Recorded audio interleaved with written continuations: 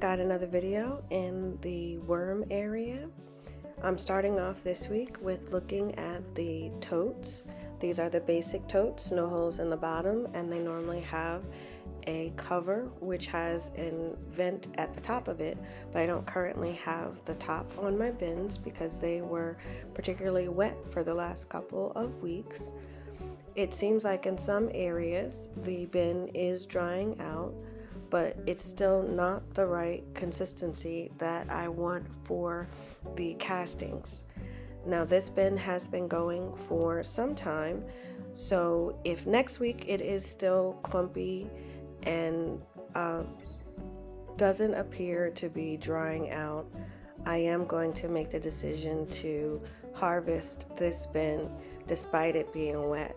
It might do it some good to be in a harvest tray to dry out before sifting rather than to try to do it while still having to feed the tray um, and put food into the castings. So I'm just going to feed this up with some squash, the remaining carrot roots, and some beets. Put the grit in and finish it up.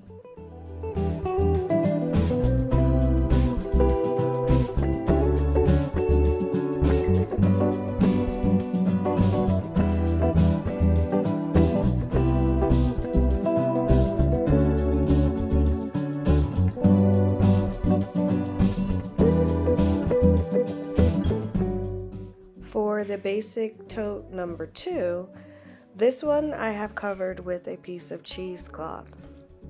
So this one, once I was able to fluff up the castings, found this one to be even wetter than the sister bin. So for both of these bins, it might be a decision I make after one more week to go ahead and begin the harvest. If I'm not mistaken, they have been processing since June of this year, and usually at three to four months is when I begin the harvest. But I elected not to because these bins were super wet. Now, the castings on this one, I had a giant worm ball right there, which I'm trying to show, but everything was focused where I had put the food, the worms, the cardboard. So I'm just mixing everything up so it has can be dispersed throughout the bin. And then I'm feeding this one up with the same mix of food and grit and covering it up.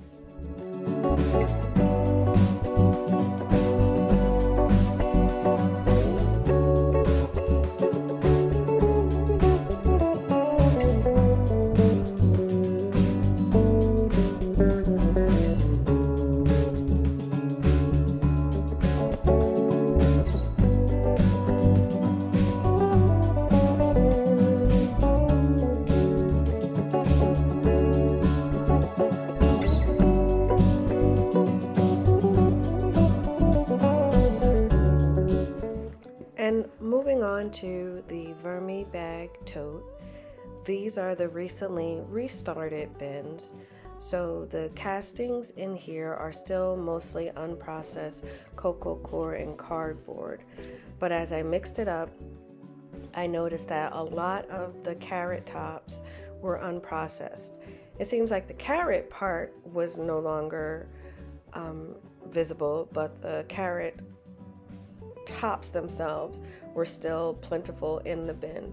And because of that, I chose not to add additional food. I don't like to add or overfeed food to my bins just because it's been a week. The worms can take a week off of any fresh food. They'll just reprocess the castings and the cardboard in there. So I'm just adding the grit to this one and moving on to the next.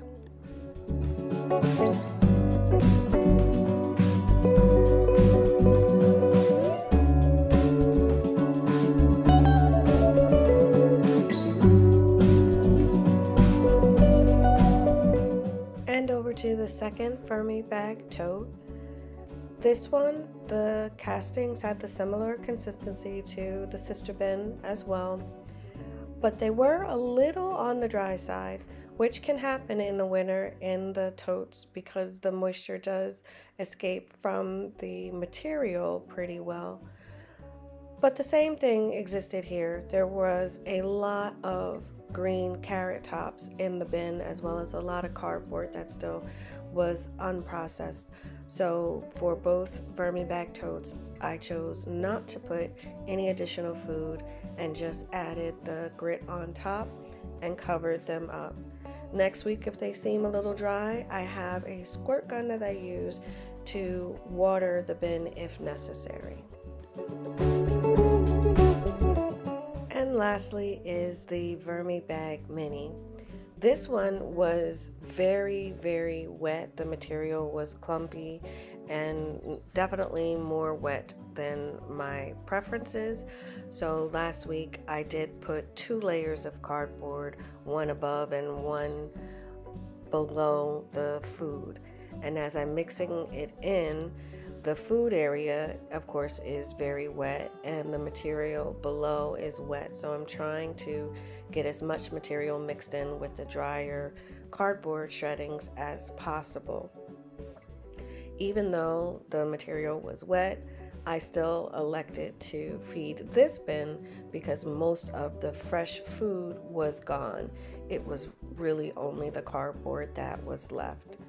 So I put a layer of food in. I didn't do any extra layer of cardboard, added the grit, and finished up the bin.